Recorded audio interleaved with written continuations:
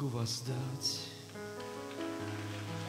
мой Господь, за все, что дал ты мне мир и благодать, свет любви зажег греховной тьме. Голоса ангельского пения не остановят моих слов. Все, чем живу, тебе я посвящаю.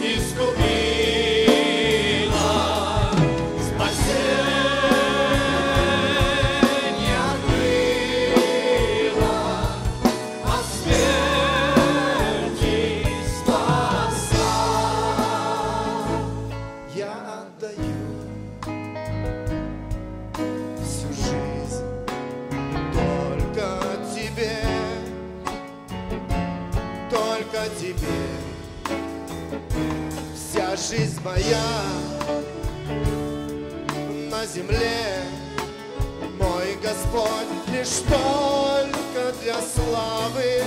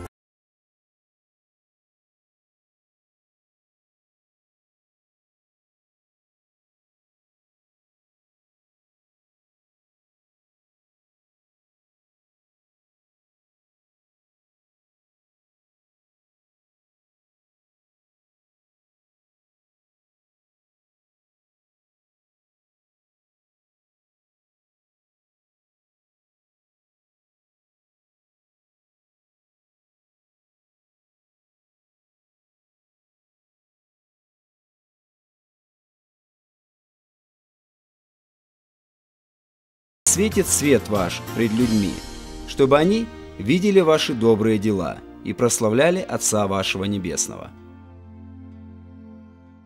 Ну и так, друзья, то, что я неустанно говорю многие годы, я с этого еще начинаю, что Иисус пришел дать каждому из нас жизнь и жизнь с избытком. Это Его желание, а, это Его действительно промысел для каждого сына, для каждой дочери. Чтобы мы бы имели все для жизни, все для благочестия, то есть и духовной жизни, и нашей плотской. Он любящий Отец, знает, в чем мы будем иметь нужду, что нам будет нужно, необходимо. Все это он прекрасно понимает, и для него это великая радость, когда он видит, что его дети действительно, они преуспевают, когда его дети здравствуют. Отец Небесный видит, что мы тогда ходим в истине. Но чтобы нам принять эту истину, чтобы эта истина действительно пришла освободила нас. Ну, конечно, каждому из нас следует потрудиться, и порой этот труд э, тяжелый бывает, со страданиями, переживаниями, у кого-то с весельем и радостью, по-разному все.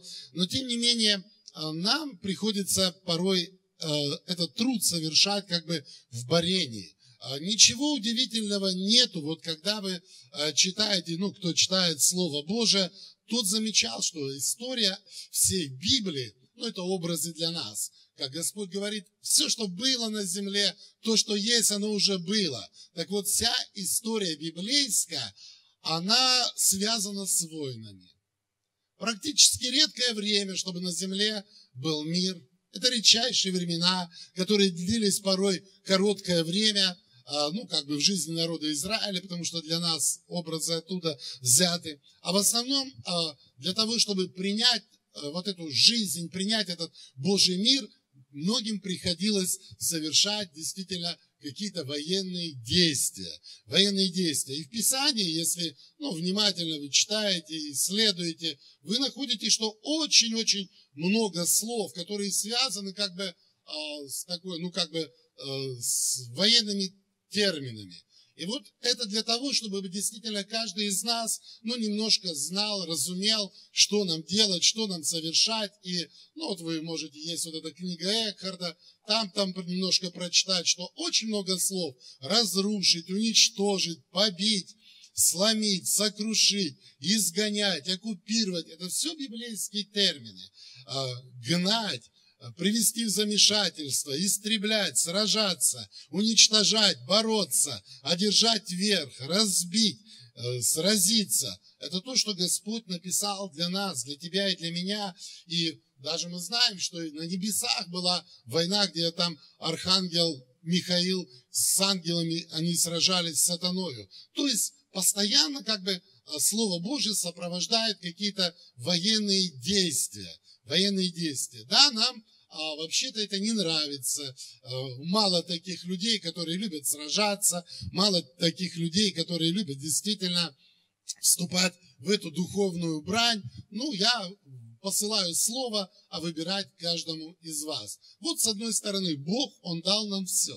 Он дал нам все. Но, чтобы нам это все принять, нам вот приходится часто сражаться. Сражаться действительно э, приходится э, порой ну, как бы сложно, тяжело. Я скажу, далеко не все побеждают. Но только Бог одно сказал, что побеждающий наследует все, и буду ему Богом, а он мне сыном. То есть выбор для каждого из нас. Вы пришли сюда в здравом уме, а, а выбирать или нет, э, сражаться, побеждать или проигрывать, выбирает каждый сам. А, ну, что я могу сказать? К сожалению, да, я видел э, великое множество христиан, которые опускали руки, которые сдавались. Э, у кого-то ну, разбивалось служение, а кто-то терял финансы, кто-то э, здоровье, у кого-то разваливались семьи, потому что за все, за все надо сражаться. Чтобы, допустим, а, в любом, ну, как бы, поселке, городе был мир, он просто так не придет. Нам всем это хочется, чтобы был мир, но для того, чтобы этот мир пришел, кому-то надо посражаться. Кому-то надо посражаться. И наша задача с вами, ну, самим понять, самим определить, хочу ли я это делать, желаю или нет. А, если во мне это дерзновение посражаться, ну, в принципе, это для всех слово, а выбирать будет каждый сам по себе.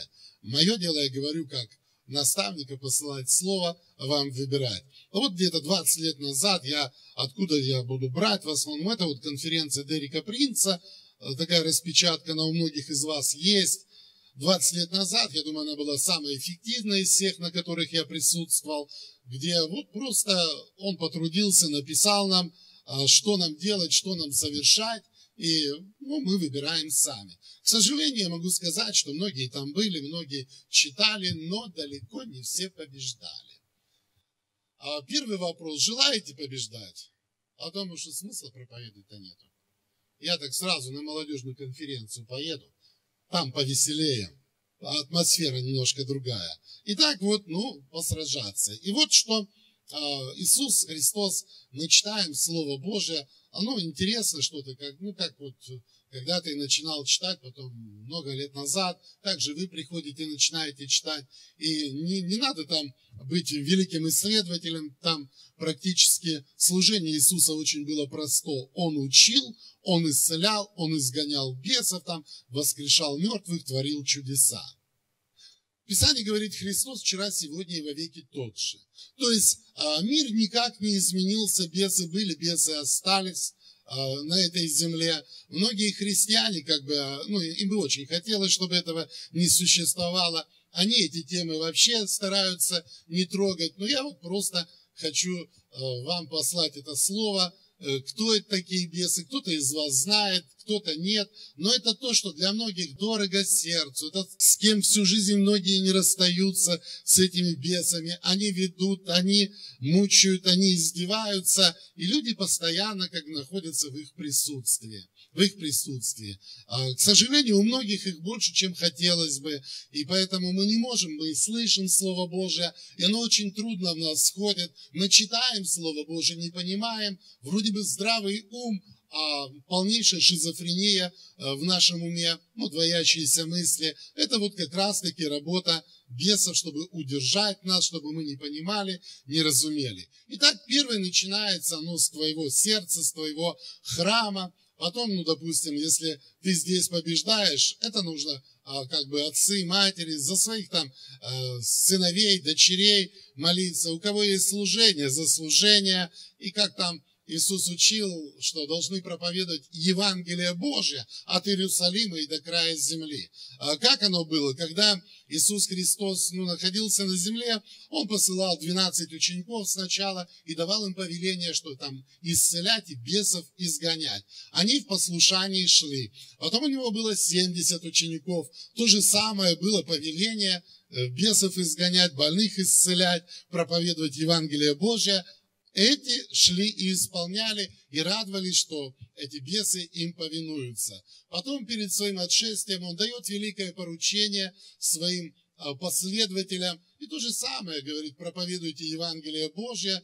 то же самое, бесов изгоняйте, больных исцеляйте, нищим благовествуйте, проповедуйте лето Господне благоприятное. Но тут уже начинаются религиозные игры. Многие эту тему стараются как бы не озвучивать. Многие начинают что-то выдумывать, придумывать, словно за эти две тысячи лет куда-то они все с земли испарились.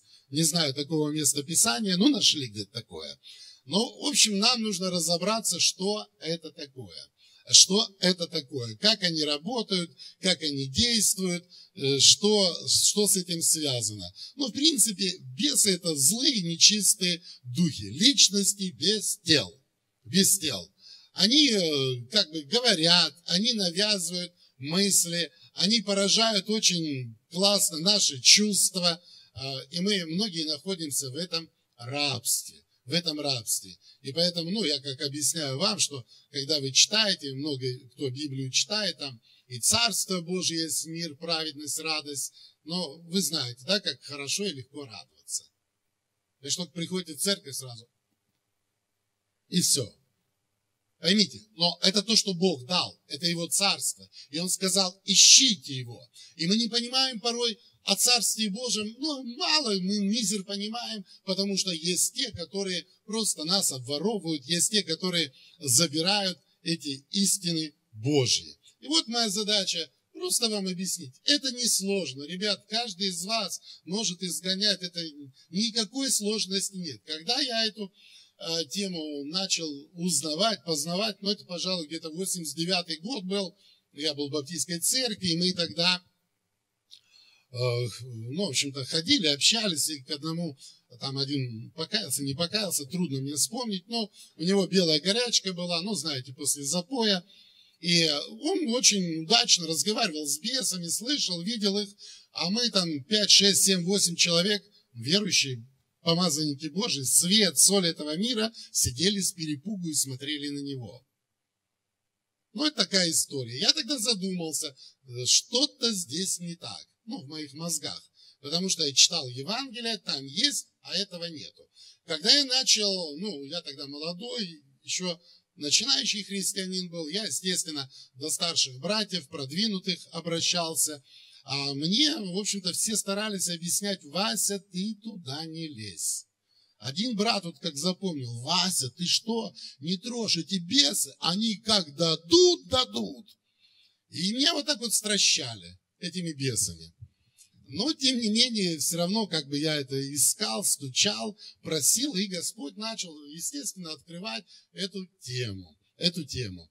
Но что я могу вам сказать? Вот э, э, главная цель, да, э, бес это служебные духи дьявола, просто служебные духи. Их задача удержать тебя, меня от познания истины.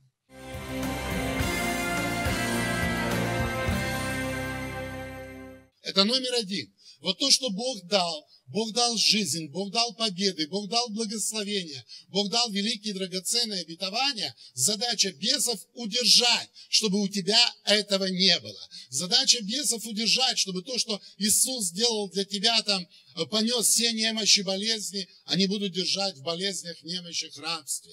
Задача их удержать от того, что Иисус желает, чтобы мы все были богаты и щедры. Они будут держать тебя, чтобы ты никогда не познал эту истину Божью. Э, задача этих бесов, чтобы ты никогда не познал силу успеха в Господе. Это их задача. Э, ну, в общем-то, каждый сам должен определить э, уровень влияния их на твою жизнь, на твою жизнь, насколько они влияют. Дальше они также удерживают от эффективного служения Иисусу Христу. Действительно, порой, когда ты начинаешь служить, ты будешь с ними сталкиваться, ты будешь э, сталкиваться с их проявлением, с их действием. Э, они очень разные, эти действия, проявления. Действуют они через людей. Они говорят, они стращают, они запугивают, чего только они не совершают именно в жизни э, человека, в жизни человека. Влияют везде и всюду, только их главное увидеть, понять, определить. И вопрос такой, желаешь ли ты дальше с ними жить под их диктовку или освободиться? Вообще, ну, освободиться это прекрасно. Это прекрасно. Ну, вот а, то, что задача дьявола, он пришел украсть, убить и погубить. То есть украсть жизнь Божью. Для каждого из нас Бог дал жизнь. Его желание, я неустанно это говорю, чтобы мы имели все жизнь, жизнь с избытком. Мы были благословенны, мы призваны наследовать благословение, мы призваны наследовать славу. Это слово неизменно. Но вот эти бесы, они все это обкрадывают. Мы читаем все Слово Божье, мы слышим его, но что-то противостоит в нашем разуме, в наших чувствах, не позволяя принять то, что Бог дал. Они убивают веру в Божье обетование, Многие не верят в Слово Божие, часть от части. Они просто приносят пагубы в жизнь людей, разбивая жизни. Печально, печально смотреть. Ну, я все-таки почти 30 лет уже в среде Э, протестантского движения, я видел многих людей, которые были разбиты, побиты, просто дети Божьи, несчастные, разбитые и побитые, потому что не знали, не разумели, отвергли, и эти бесы удачно совершили свою работу, которую им и предназначено делать. Э, предназначено делать. Поэтому я говорю, что мы с вами должны видеть, разуметь, понимать, как они действуют в нашей жизни. Если, ну, э, если влияние их на тебя, и если есть, то сколько много. И желательно уменьшать, чтобы чем меньше было, тем лучше. А, ну вот что, а как характерные действия, что они делают? Они обольщают нас. Они обольщают, приносят всевозможные обольщения, они приносят беспокойство, ну это обычно страхи. А, ну вы знаете, да, как мы читаем Евангелие, там написано, Бог не дал нам духа страха. Но вот за многие годы христианства такие не попадаются христиане редко. Вот остальные почему-то любят ходить в страхе. Хоть за что-нибудь, но боятся. Хоть за что-то, но страшиться. Вот это, Бог это не дал написано. Не дал. Но тем не менее, есть те, которые навязывают, есть те, которые порабощают мысли, порабощает чувства, и великое множество христиан ходят в страхе. Но если вот я так думаю, среди вас десяточек, если наберется, которые ходят без страха, то уже можно быть счастливым человеком. Я реально говорю. Это то, что есть. Оно везде. Оно везде.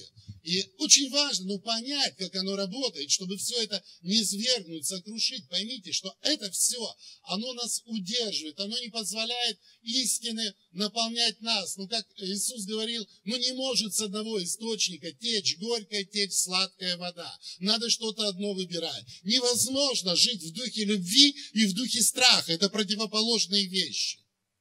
Если Бог говорит, ну, к примеру, я смиренным даю благодать, да, когда дух смирения, мы послушны, мы покорны Богу, а Он говорит, я гордым противлюсь. Но а, в принципе дух гордый, а, ну, я думаю, что редкий человек обходится без него.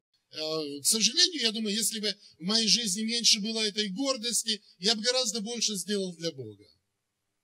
Это тоже реально.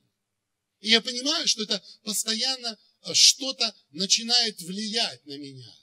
Ну, на вас, может, не влияет, но я говорю искренне, как есть. Я понимаю, что, ну, я учил как-то, вот и говорю, есть четыре таких главных духа, которые, они очень легко нас обольщают. Дух гордый, Бог гордым противится, и мы не можем принять Божье благословение. А второй дух э, сребролюбия – это корень всех зол. И многие не свободны, не могут принять то, что Бог дал во всей полноте. Э, третье – это обычно зависть, она сильна, как преисподня. Потому что когда мы не свободны, мы не исполняем слово, мы завидуем всем. Мы смотрим на тех, кто побеждаем, а зависть – это такая штука, которая молчать не может. Она начинает клеветать всегда клеветать. Оно изнутри исходит, потому что если у вас это есть, вы этим любите заниматься, это просто вы не свободны. Это вот это рабство бесовское. Ну, четвертое, это обычно дух блуда, это то, что везде и всюду пропитано.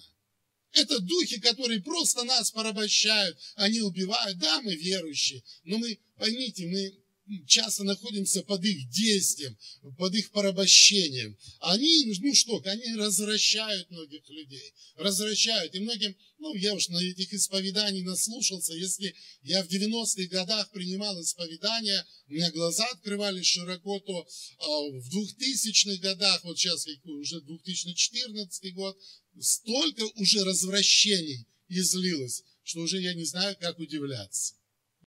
Беда в том, что вот вы здесь сидящие, которые ходите в этом рабстве, это потом все приходит в детей. И оно из поколения в поколение все сильнее и сильнее. Они обманывают нас и очень легко обманывают, забирают жизнь. Они начинают лгать наш разум, что ты никто, ты ничто, у тебя ничто не получится, у тебя ничто не состоится. Это работа дьявола, Делает он это легко, профессионально. И многие дети Божии, говорю это к стыду или к печали, не знаю, не добиваются того, что Бог дал, того, что Бог совершил для нас.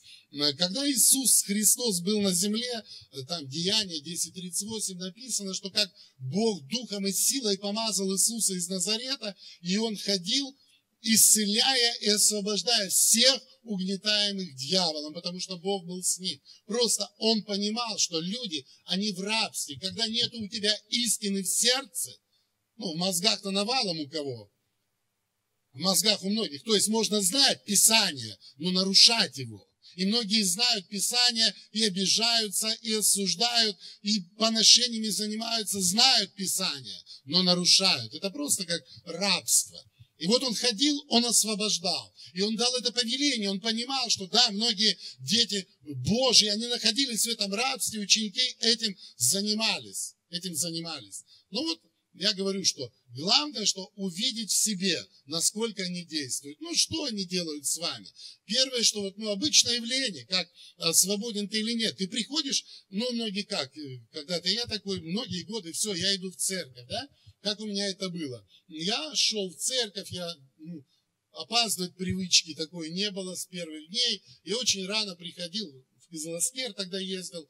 А, я на остановочку раньше выходил, думаю, пройдусь, поразмышляю о жизни тихо сам с собой. Я подходил к церкви, мне надо было заходить. И вдруг что-то со мной происходило. Меня ноги несли дальше, я шел вперед. Я проходил остановку, садился на автобус, ехал домой. Я приезжал домой, старый аэропорт, а потом думаю, я же в церковь хотел. Вот так вот бесы действовали. Удержать от познания истины. Вера от слышания, чтобы ты не слышал. Вы приходите сюда. Вы приходите сюда. Что они делают? они тут же вас усыплять начинают. Сейчас с вами телевизор включу, ни один не уснет. Всякую ерунду будете смотреть, рот откроете, уши и глаза. Было бы четыре глаза, и четыре вылупили бы. Но бесы, вот их задача, чтобы ты не понимал, не слышал, чтобы ты был в рабстве и оставался. И многие, вы приходите, надо невероятное усилие делать над собой, вроде бы, чтобы послушать слово, усилия делаешь, потому что это рабство. Тебя кто-то держит. Это мозги, это чувства. Вот таким путем они, ну, как бы удерживают нас. Они ослабляют нас, нашу иммунную систему расшибают. Отсюда болезни, немощи, и мы многие больные, немощные, и с годами все хуже и хуже. Почему? Хотя Писание говорит, что праведник, он и в старости какой-то он должен быть. А? Крепок и сочен. Но что-то с праведниками не то. О, о, и загинаемся. Почему? От чего? Вот это то, что эти наши, все эти греховные привычки, они создают нас. Нам трудно измениться. Мы привыкаем так жить. То есть мы находимся многие в этом рабстве, в этом рабстве. Чтобы победить, действительно, надо прилагать старания, усилия. Более того, это посты молитвы, ребятки, чтобы освободиться, освободить себя, чтобы действительно победить и увидеть, как благ Господь, как благ Господь. Ну, что я могу сказать, что э, понимать еще нужно, есть бес и есть наша плоть. Плоть, которая желает своего, которая не покоряется, есть бесы, ну, немножко в этом разбираться надо. Разуметь, различать, есть такое в Писании, дар распознания духа. Дар распознания духа. Вот это все мы должны с вами знать, разуметь, чтобы понимать, как это работает, как это действует. По вопросам приобретения книг Василия Кузина обращайтесь по адресу Кыргызстан, город Бишкек, 720017, улица Чуйкова, 138, абонентский ящик 675.